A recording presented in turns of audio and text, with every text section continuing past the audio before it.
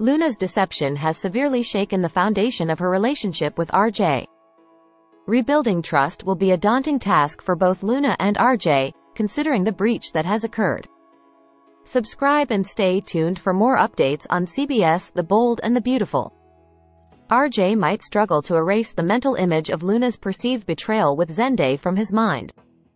Even though he understands Luna's innocence in the matter, the thought of her involvement with Zende lingers. Given these challenges, Luna and RJ face significant obstacles that won't be resolved overnight.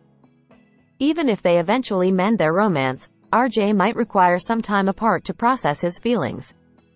Meanwhile, Poppy Nozawa may confide in Bill Spencer about the situation and seek his support. Feeling remorseful for her role in Luna's distress, Poppy could turn to Bill for solace. On another front, Deacon Sharpe will share startling news with John Finn Finnegan. Despite Finn's concerns about Deacon's mental well-being, Deacon will present new evidence supporting his belief that Sheila Carter is alive. Deacon will disclose information from Lauren Fenmore Baldwin, shedding light on Sheila's doppelganger named Sugar, who harbors resentment.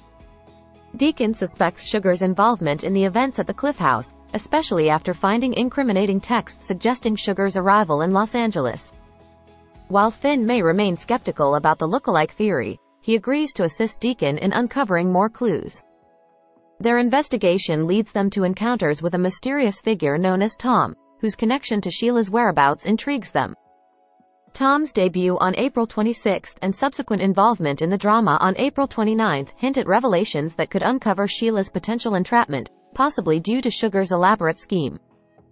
B&B spoilers unveil Luna's overwhelming guilt over deceiving RJ. Despite Zende and Poppy Nozawa's pleas, Luna couldn't bear the weight of her secret any longer. Fortunately, they didn't stand in Luna's way when she decided to come clean to RJ. Realizing the depth of Luna's distress, Poppy abandoned her attempts to dissuade Luna and offered her unwavering support. Meanwhile, Zende was willing to shoulder the blame, although the situation wasn't entirely his fault. Upon learning about Luna and Zende's night together, RJ was consumed by fury. While he acknowledged Luna's belief that she was with him that night, RJ accused Zende of taking advantage of Luna, believing he knew she was not in control. Contrary to RJ's assumptions, Zende's intentions were not malicious. Despite exercising poor judgment, Zende genuinely believed his dreams were materializing.